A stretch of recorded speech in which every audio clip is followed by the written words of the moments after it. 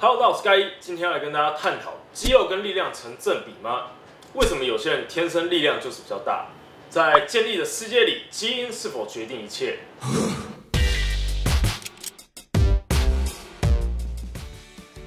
首先，我们要知道每块骨骼肌都必须有两端的结缔组织依附在骨头上。这两端的附着点分别为靠近身体中心的近端以及远离身体中心的远端。当我们在进行一个动作的时候，身体会需要一块以上的肌肉来帮助我们完成这个动作，分别是最直接参与此动作的主动肌，用于减缓或停止动作的拮抗肌，间接协同完成动作的协同肌。举个例子，当我们在做投篮动作的时候，这个时候主动肌为我们的三头肌。啊，用来伸展我们的手肘，增加球速。当我们手肘接近或完全伸直的时候，这个时候我们的二头肌会用来减缓手肘的延伸，那使动作停止，保护我们的肘关节。如果今天少了二头肌的拮抗，我们的手肘就会因为三头的力量，啪，造成肘关节的冲击。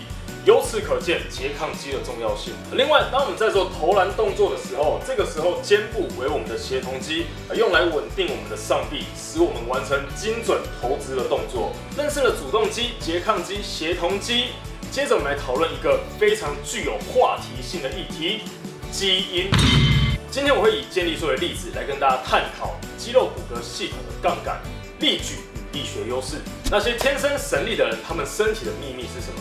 大家小时候都有学过杠杆原理，我们都知道，在一个支点上，当施力臂越长，阻抗力臂越短，就越能省力的去对抗支点另一头那个阻抗杠杆的力量。所以阿基米德曾说过，只要给我一个支点，一根够长的棍子，我就能够抬起地球。由此可见，这个力量大小乘以力臂长度，能够发挥多么大的力矩。然而，这个杠杆原理与力矩也存在于我们的人体，我们称之为力学优势。简单来说，今天我以二头弯举为例，前臂就是我们的阻抗力臂，二头肌与前臂的粘着位置到肘关节这一段就是我们的力臂。那么这个阻抗力臂与力臂加上我们的肌肉力量，就成为我们能够举起多重物体的主要因素。如果以两个相同肌肉力量、相同前臂长度的人来说，那么肌肉粘着位置。